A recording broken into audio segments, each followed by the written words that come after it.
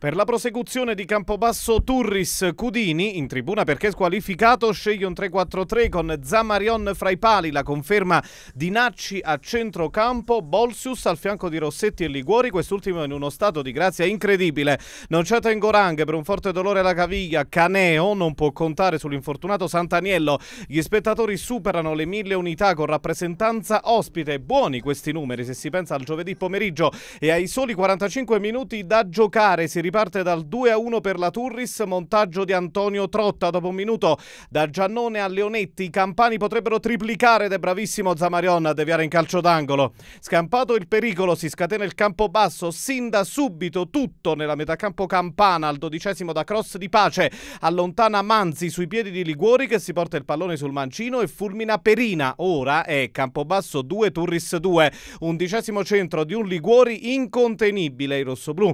Potrebbero mettere mettere la freccia al sedicesimo con un destro a giro di Rossetti di pochissimo impreciso. Al diciottesimo calcia Persia da fuori area, Perina non trattiene, errore del portiere, ospite riprende Liguori che dribbla all'estremo e viene atterrato, calcio di rigore che appare netto dal dischetto, però Rossetti si fa parare. La conclusione da Perina. Si rimane in parità, i campani non pervengono a Selvapiana al ventottesimo dalla punizione di Tascone. C'è la presa sicura di Zamarion, mentre nel momento più bello per il campo basso ecco il nuovo punto della Turris al 34esimo, il servizio di Leonetti per Manzi, scivolata di pace, la palla perviene a Pavone che offre a Franco, diagonale a mezza altezza e palla in rete. Turris 3, Campobasso 2.